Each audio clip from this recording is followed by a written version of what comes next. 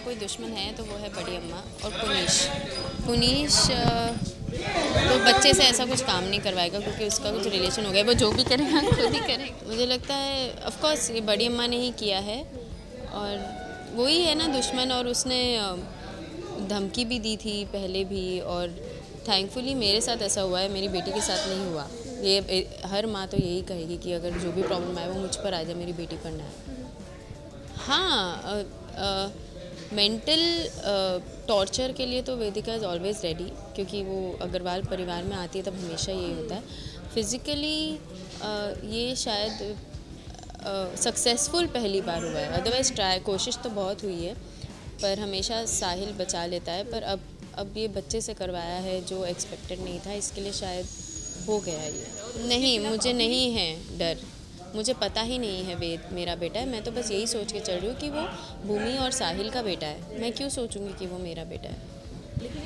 एक अटैचमेंट है बस बिकॉज़ जब आप किसी से प्यार करते हो तो उसका बच्चे से आपको ऑटोमेटिकली प्यार हो जाता है। और बहन का बच्चा है तो फिर वो तो एक मदरली फीलिंग आती ही है। हाँ बच्चे के मन में मेरे खिलाफ जहर भरना, वो तो गलत है, लेकिन वो इतनी बड़ी गलती नहीं पर बच्चे को ये सब सिखाना, वो बहुत गलत बात है।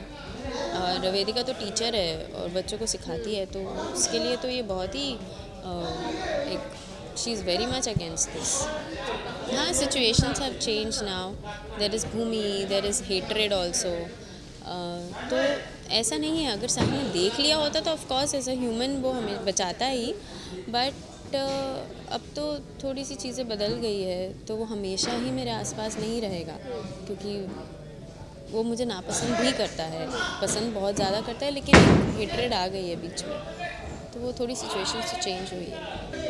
वेदिका पहले भी बोलती थी जब अग्रवाल हाउस में आई थी, पर अब तो वो बच्चे आ गए हैं पिक्चर में तो बच्चे के लिए माँ तो किसी भी हद तक जाती है, और वेदिका के लिए वेद भी उसी का बेटा है। इन द सेंस कि वो अपनी बहन का बेटा मतलब उससे उतना ही प्यार है उससे।